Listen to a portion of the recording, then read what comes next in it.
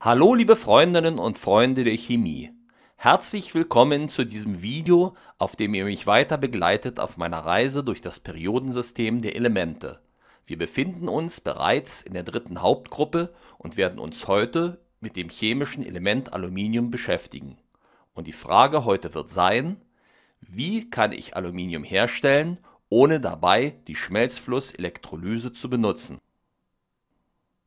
Die erste Mitteilung über die Herstellung eines neuen chemischen Elementes mit dem Namen Aluminium rührt aus dem Jahre 1808 und stammt vom englischen Naturwissenschaftler Sir Humphrey Davy.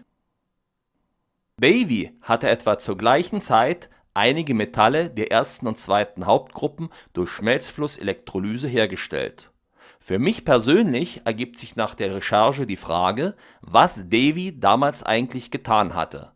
Zumindest gilt er nicht als der Entdecker des Aluminiums, obwohl er ihm seinen Namen gab.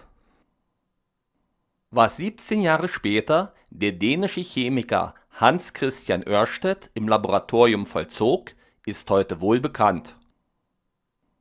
Obwohl Ørsted in einigen Werken der Fachliteratur als Entdecker des Aluminiums genannt wird, gibt es Zweifel daran, dass es ihm tatsächlich gelang, das reine Metall herzustellen. Welche chemische Reaktion fand im Jahre 1825 statt?